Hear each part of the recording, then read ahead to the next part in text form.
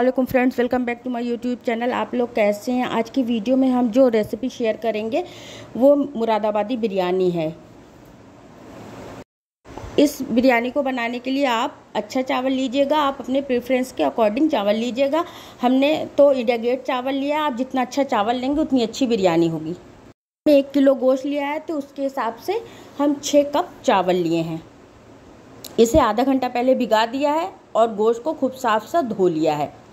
अब हम सबसे पहले यखनी की तैयारी करेंगे। इसे यखनी बनाने के लिए डेढ़ चम्मच सौंफ लेंगे, एक चम्मच साबित धनिया, एक टुकड़ा जावित्री का, एक टुकड़ा दालचीनी का, एक छोटा टुकड़ा जायफल का।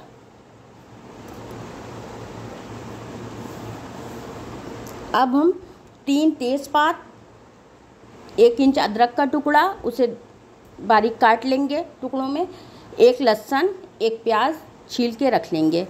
डेढ़ चम्मच नमक, तीन छोटी इलायची, दो बड़ी इलायची।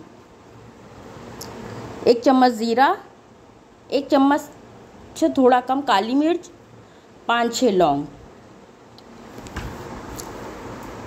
और एक हम एक टी इन्फ्यूज़र लेंगे, उसमें सौंफ और धनिया डाल देंगे और उसे धो लेंगे।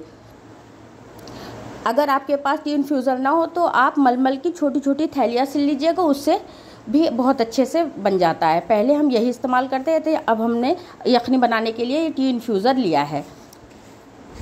अब हम एक कुकर लेंगे, उसमें गोश्त डाल देंगे, टी इन्फ्यूज़र डाल देंगे, लहसुन, एक प्याज, अदरक के टुकड़े,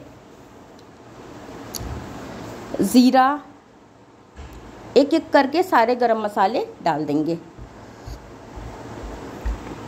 यखनी में पाँच छः हरी मिर्च भी डालेंगी, इससे यखनी का टेस्ट चटपटा हो जाता है। बिरयानी बाकी बिरयानी के मुकाबले कम मसालेदार होती है। बिरयानी को हम लाल चटनी और रायता, सलाद के साथ सर्व करते हैं। अपने चावल में हम करीब डेढ़ लीटर पानी डालेंगे। आप कोशिश करिएगा यखनी के ही पानी से पूरी बिरयानी बनाएँ। तो वो ज़्यादा फ्लेवरफुल होती है। बाद में आपको पानी कम लगे तो एक्स्ट्रा पानी डाल सकते हैं। मसालों को डालने के बाद इसे हम गैस पे चढ़ा देंगे। अब इसे फुल आँच पे चढ़ा देंगे।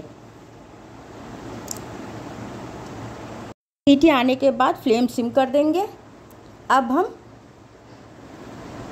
हम इस बिरयानी का हल्का मसाला बनाएँगे। इसे बनाने के लिए कुछ मसाले लेंगे, तीन प्याज लेंगे, एक कप दही, उसे विस कर लेंगे, एक चम्मच ज़ीरा लेंगे, एक चम्मच काली मिर्च, एक टुकड़ा जावित्री का, एक टुकड़ा दालचीनी का, दो छोटी इलायची और कुछ लौंग, सात आठ हरी मिर्च, पाँच छः तेज़पात और अदरक का टुकड़ा और केवड़ा लेंगे। अब हम एक बड़ा भगोना लेंगे।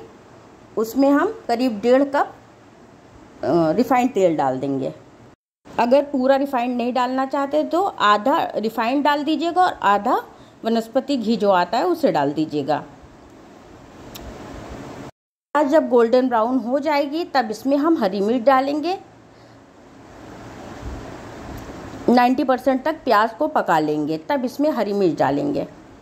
हरी मिर्च डालने के बाद गैस को कम कर दिएगा नहीं तो मिर्च कलर चेंज कर लेती है। जब मिर्च और प्याज हो जाएगा, तब इसे हम बाहर निकाल लेंगे। पूरी मिर्च और प्याज निकाल लेनी है। भगोने को तिरछा करें, क्योंकि भगोना बड़ा है तो पूरा निकल आएगा आसानी से। अब हम एक प्लेट में अलग से रख देंगे। ये प्याज और मिर्च गार्निशिंग के काम आएगी। अगर आपको ऑयल कम लग रहा हो तो थोड़ा सा और डाल लीजिएगा। अब इसमें हम तेज़पात जो खड़े गरम मसाले निकाले थे उसे डाल देंगे। जब हमारे मसाले हो जाएँगे तब इसमें हम अदरक लहसुन का पेस्ट डाल देंगे दो चम्मच।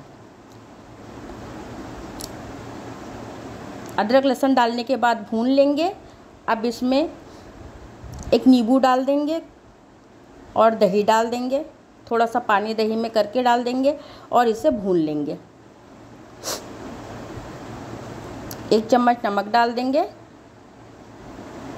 नमक आप टेस्ट करके देख लीजिएगा। चावल में नमक थोड़ा ज़्यादा ही रखना चाहिए। अब इसमें गोश्त डाल देंगे और इसे भून लेंगे। यखनी का पानी अलग कर लेंगे, गोश्त अलग कर लेंगे और सारे मसाले निकाल के फेंक देंगे। अब इसमें से कोई मसाला नहीं लेंगे, खाली गोश्त और पानी इस्तेमाल होगा।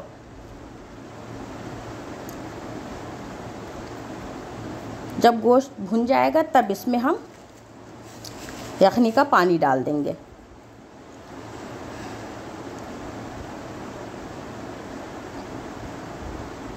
अगर आप पानी और डालना चाहते हैं तो देख लीजिएगा बाद में पानी थोड़ा बहुत बढ़ा दीजिएगा। अब हम चावल डाल देंगे और इसे चला देंगे।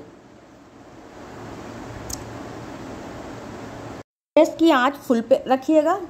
चावल बॉयल हो जाएगा, तब इसमें इसे ढक्कन खोल दीजिएगा।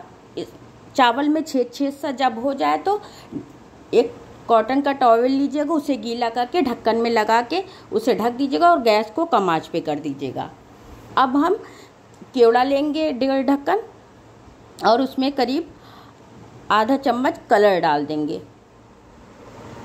जब हमारा चावल ऐसे हो जाएगा, देख लीजिएगा आप अपने हिसाब से, तब इसमें हम कलर डाल देंगे।